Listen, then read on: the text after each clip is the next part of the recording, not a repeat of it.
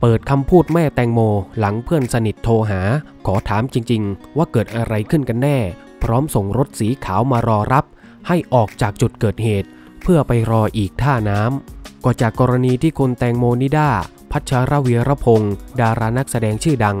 ที่ได้พลัดตกจากเรือกลางแม่น้ำเจ้าพยา ช่วงใต้สะพานพระรามเจ็ดท่าเรือพิบูลสงคราม โดยมีเจ้าหน้าที่กู้ภัยหลายชีวิต รวมถึงนักประดาน้ำร่วมกันลงพื้นที่ค้นหาร่างนักแสดงสาว ตั้งแต่ช่วงกลางดึกจนถึงช่วงเช้า ตามที่เคยเสนอข่าวไปแล้วนะครับล่าสุดครับด้านผู้สื่อข่าวได้รายงานว่า ช่วงกลางดึกที่ผ่านมาหลังเกิดเหตุ นางพนิดา สิริยุทธโยธิน ซึ่งเป็นมารดาของคุณแตงโม ได้เดินทางมายังท่าน้ำขณะที่เจ้าหน้าที่นั้นกำลังค้นหา ด้านผู้เป็นแม่ก็มีท่าทีเคร่งเครียด และก็เป็นกังวลอยู่ตลอดเวลาเลย ช่วงหนึ่งนะครับ มีโทรศัพท์ โทรติดต่อเข้ามาหาแม่ของคุณแตงโม ซึ่งคนที่โทรเข้ามานั้นเป็นเพื่อนสนิทคนหนึ่งของคุณแตงโม ซึ่งขอให้คุณแม่ออกจากจุดเกิดเหตุ และก็ให้มารออยู่อีกจุดหนึ่ง พร้อมกับส่งรถยนต์สีขาวมาจอดรอรับไป แต่ว่าคุณแม่แตงโมยืนยันจะรออยู่จุดนี้ และอยากให้มาพูดคุยกันว่าเกิดอะไรขึ้นกันแน่ โดยคุณแม่ของคุณแตงโมนะครับพูดกับปลายสายที่เป็นเพื่อนสนิทของลูกว่า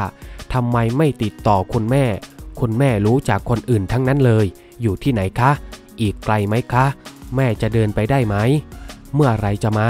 เมื่อไรจะมา แล้วทำไมกระติกที่เป็นผู้จัดการทำไมไม่ติดต่อหาแม่เลย มันเกิดอะไรขึ้นกันแน่ ขอถามจริง ๆทำไมผู้จัดการไม่ติดต่ออะไรคุณแม่เลย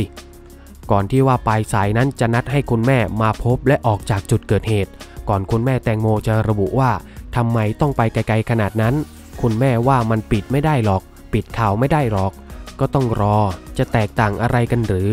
ยืนยันให้คุณแม่ไปตรงนั้นใช่ไหม แล้วกระติกอยู่ด้วยไหม เท่าที่ทราบเหตุเกิดเพราะอะไร